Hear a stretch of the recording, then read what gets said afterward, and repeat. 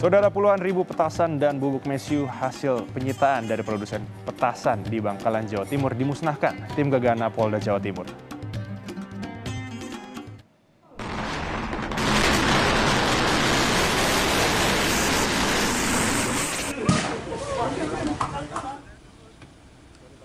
Seratus kilogram bubuk mesiu dan puluhan ribu petasan ini dimusnahkan tim Gegana dengan cara diledakkan di lahan yang kosong dan jauh dari pemukiman warga agar tidak membahayakan. Saat dimusnahkan, suara ledakan bahkan terdengar hingga radius 3 km.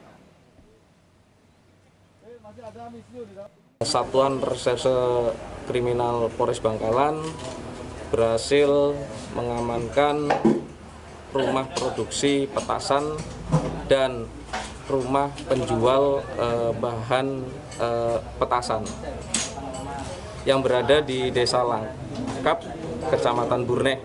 Eh, dari barang bukti itu memang kita menemukan banyak sekali, bahkan eh, dari hitungan eh, kuantitas itu ada sekitar eh, 100 kiloan bahan black powder yang sudah siap untuk dijadikan petasan.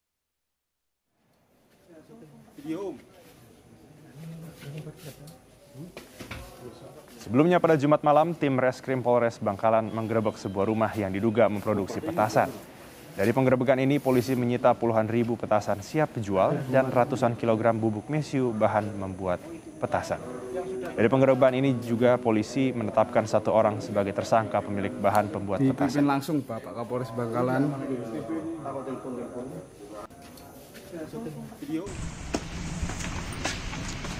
Akibat ledakan pemusnahan petasan di Bangkalan, Jawa Timur, beberapa bangunan mengalami kerusakan.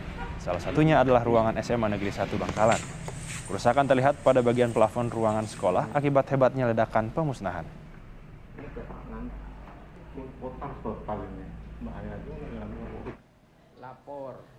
Imbas ledakan tak hanya itu, saudara, 15 rumah warga juga dilaporkan mengalami kerusakan. Sebagian besar mengalami kerusakan di bagian atap rumah. では。